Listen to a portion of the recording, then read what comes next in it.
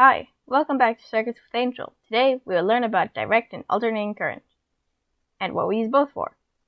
So first, let's start with DC voltage because we use it in our circuits and get it from our batteries.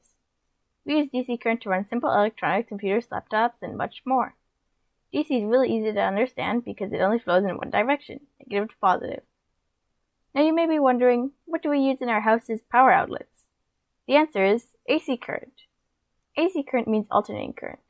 This is because it changes from positive to negative really fast, at lots per second, like 50 times in Europe and 60 times here in Canada.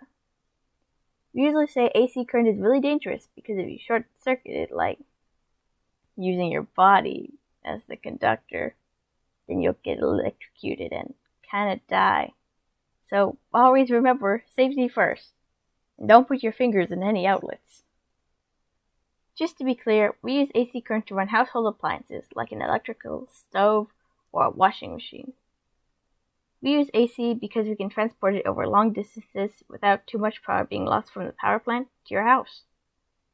But after it gets to your house, most of the AC current is turned into DC current by a converter, which you can find on a laptop, battery charger, or a Chromebook charger. Well, that was a bunch of information about AC current because it's important. But we use DC in our circuits because of reasons I've already stated, like most circuits run on DC current. So here's a quick summary of what you should take away from this video. There are two types of current, DC current, direct current, and AC current, alternating current. AC is used in our home outlets. It is dangerous because it can electrocute you if you short circuit it.